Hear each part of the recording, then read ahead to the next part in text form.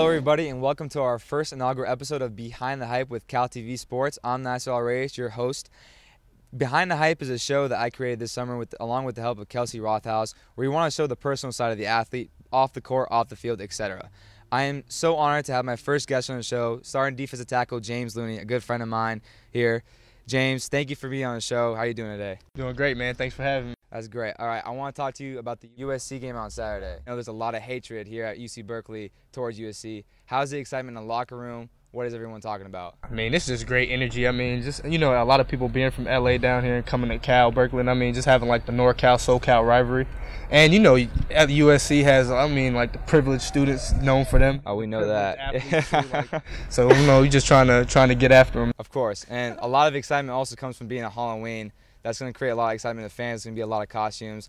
Let me talk to you about costumes and outfits. I know during the game and practice, I've heard that you wear this crop top outfit. You want to touch upon that a little bit? Yeah, you know, I got a sexy, pretty sexy body. You know I like to show off my. We all do, us big boys. You know what I mean? Yeah, exactly. You know what I'm saying? You know, I eat McDonald's here and now, but you know, everything's cool. we don't touch upon McDonald's that much, but you know what I mean. yeah, but I don't. I don't. I'm not a big fan of like dressing up. I just like to go out there and put on anything, and I don't know. The crop top looks good to me. I like, I like it, man. I know a lot of people on Twitter and Instagram like it, so you keep doing your thing. Good, I know. I get a couple sacks. That's what that's.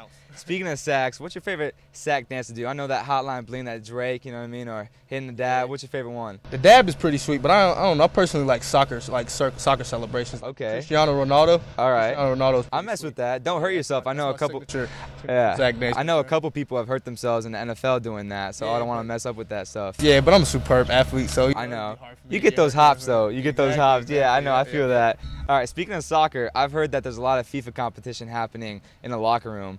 How are you? Are you good, decent? Like I know I'm one of the best FIFA players in this school. You know what I mean? How are you? I mean, there's average and there's good, and then there's probably great, and then there's me. You know there's a couple other teams on the team. I mean, players on the team that are pretty good at FIFA. Bryce Treggs, Kyle Kragen, Isaiah Tongalava definitely. All right. For my money, but yeah, it's, it's, we go at it. We gotta play sometime. You gotta come over, man. No, we got four TVs. And okay, we gotta invite me over.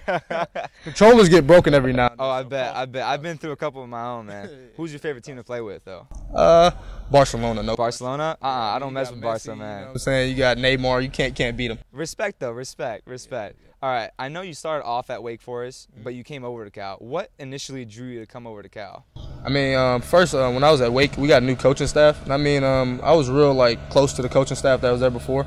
And the new coaching staff, I mean, they were pretty good guys. I mean, it just didn't fit my system and it didn't fit my personality.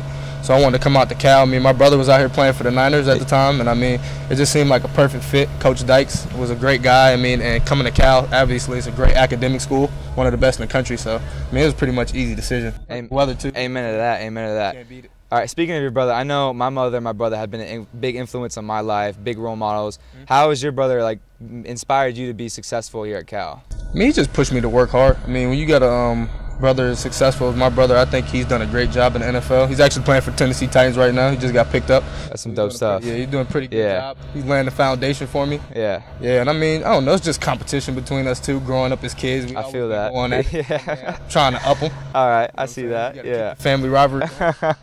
for sure. Let me touch upon lifting. All right, so I've heard some rumors that you're a huge lifter, maybe one of the best, maybe not as good as me, because you know I push 135. What are you pushing on a bench press? Ah, 135. I could probably get about 145.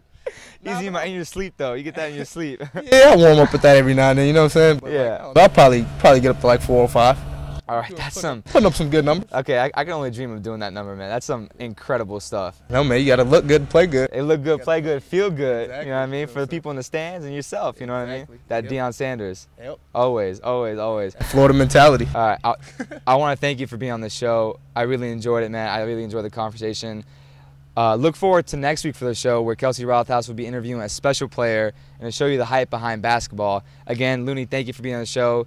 Get excited. It's the first episode. We have a lot more coming your way. Thank you. Thank you so much for having me. Appreciate it.